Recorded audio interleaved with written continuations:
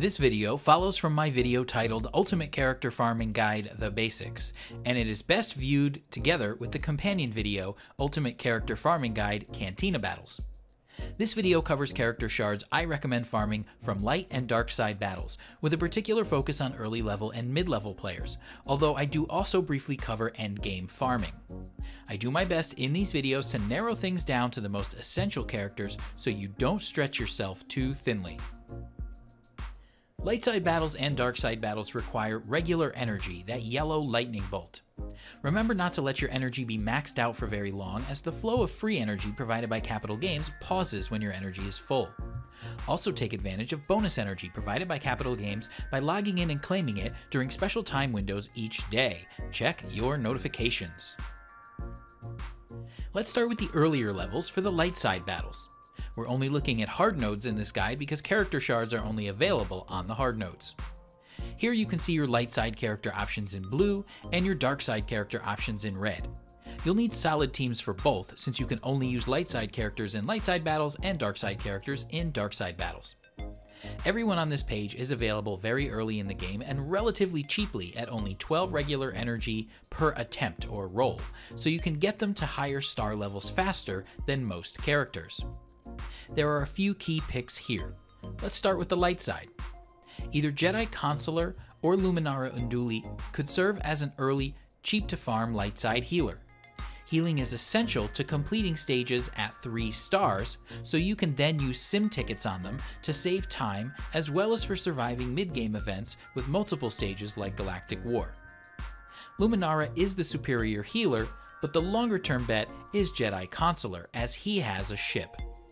Neither one is endgame material, so only invest in one of them as much as necessary, and don't bother investing in both, as you would be better served by switching to Barriss Offee later. As Jedi, you can use either one to help you earn Grandmaster Yoda and to complete the defense mod challenges. Next, we have Scavenger Rey, who is a damage dealing powerhouse. She has use throughout the game and has moderate squad arena viability.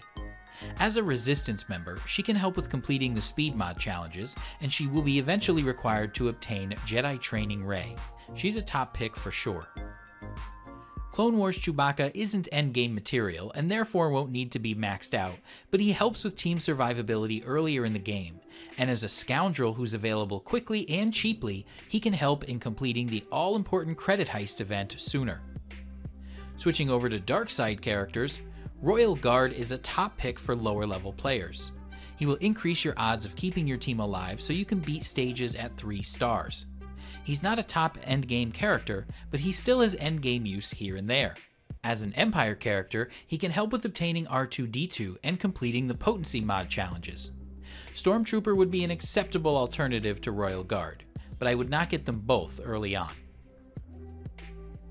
General Veers is a solid Empire character who continues to have great utility in multiple endgame events. As a very accessible Empire character, he can help with obtaining R2-D2 and completing the Potency mod challenges. He's also essential for late-game Imperial Trooper events. Talia, a Night Sister, makes a solid accompaniment to Royal Guard or Stormtrooper to heal teams in Darkside battles, although I'd switch over to Old Daka to fill that role as soon as you can farm Old Daka from Darkside Hard Node 4B.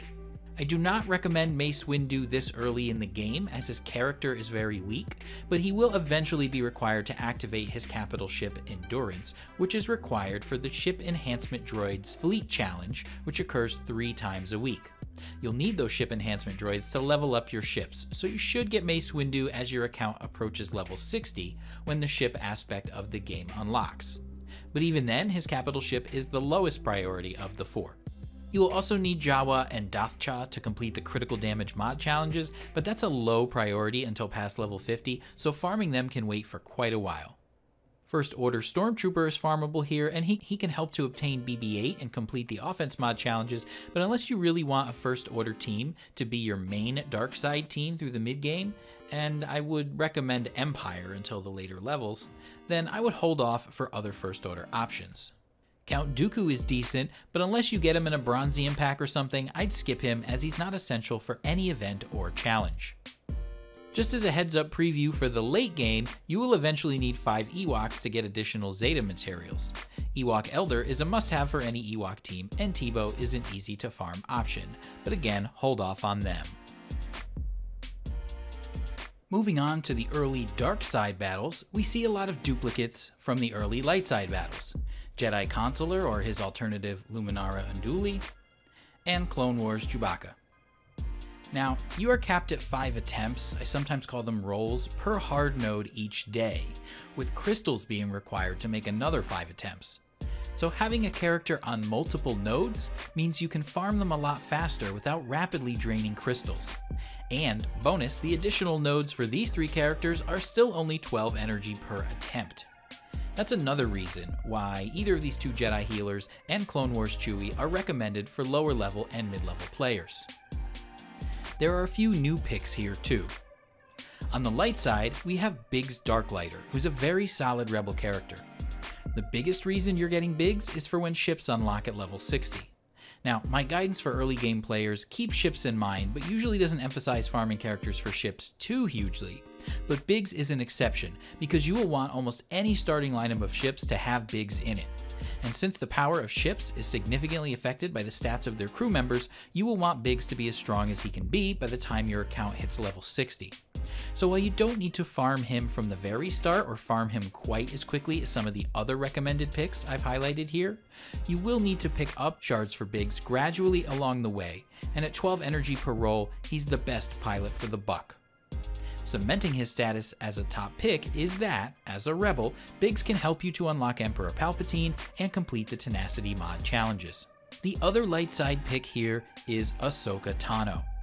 She does more damage than most Jedi and a lot of other early light side characters, and she's both cheap to farm and farmable in multiple places. Here, light side hard node 5D and the Cantina Battle Store. Plus, she has a decent ship you'll want to pick up later on, and so she will help you to hit the ground running with ships when you hit level 60. The third reason I like Ahsoka is the clincher for making her a top pick. Grandmaster Yoda got a recent rework that made him very powerful again, but you need to accumulate 5 Jedi to unlock him during his rare legendary event. Investing in Ahsoka will help you to get Yoda faster. As an additional bonus, she can be used to complete the defense mod challenges. On the dark side, there are two early gets here. The first is Boba Fett. He has a leader ability that you can use effectively with mixed teams, which is rare, and he's currently the only farmable scoundrel with a ship.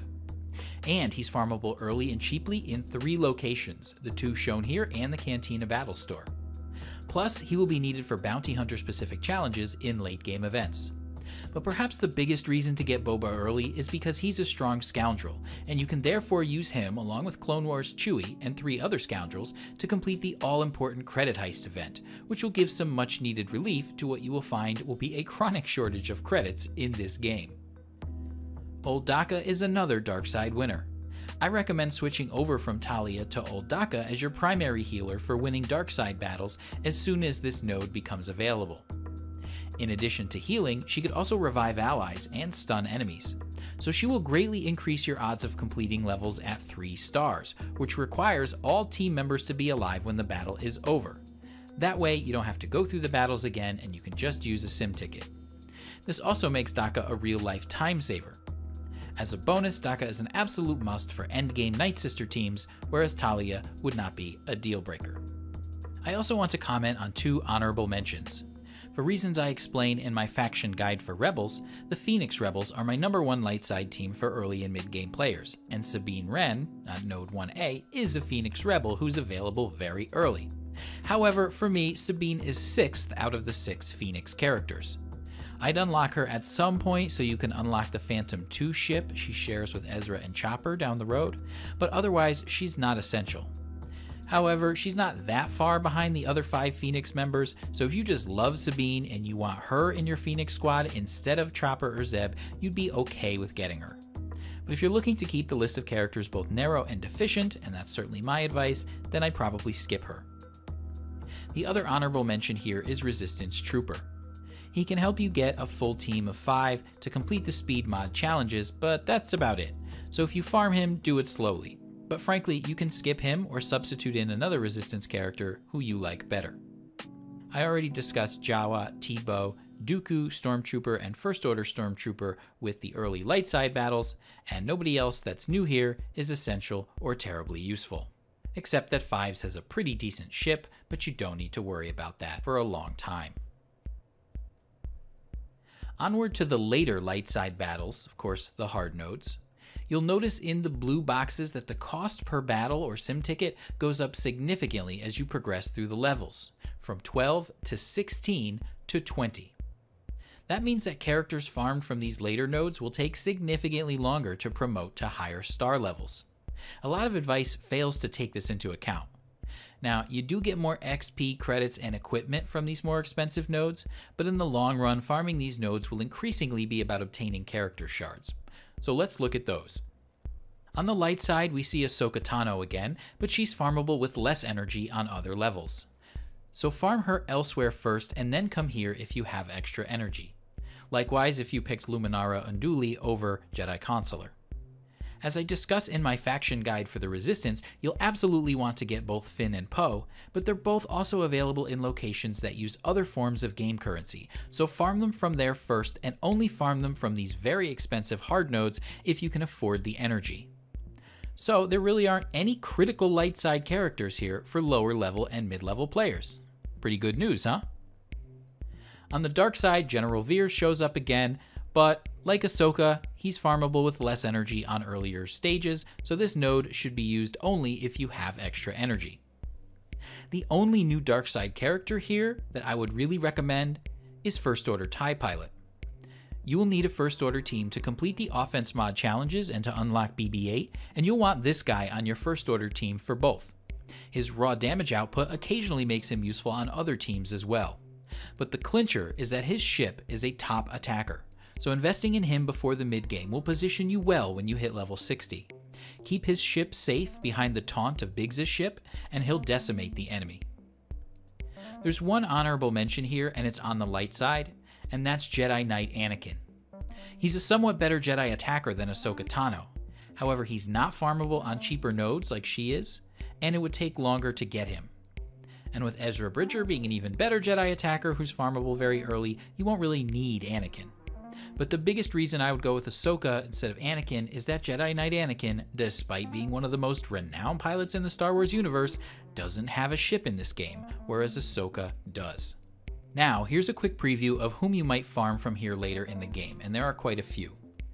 Farm Boy Luke is required to obtain Commander Luke Skywalker, but he's otherwise not useful, so farming him can wait quite a while. Plus, like Poe, he can be farmed much sooner and faster from Cantina battles. See my faction guide for Rebels for more details on that. Hoth Rebel Scout will be needed for light side territory battles later in the game, but he has no use elsewhere, so wait to farm him. Baze Malbus is decent, but expensive to farm, and you should have plenty of strong rebels by the time you can get him. Mother Talzin is essential for late game events that require or benefit from Night Sister teams and getting her to 7 stars along with a decent Night Sister team can help you get extra Zeta ability mats, but you don't need her or a complete Night Sister team for quite a while. Stormtrooper, Snowtrooper, and Shore Trooper are all part of the Imperial Trooper subfaction of the Empire, and under a General Veers lead, they kick butt late in the game. Shore Trooper is amazing on any Empire team, and the ship he co-pilots is excellent and available on the same node as he is. As soon as you can get Shore Trooper, you should farm him and switch over to him from Royal Guard as your top Empire tank.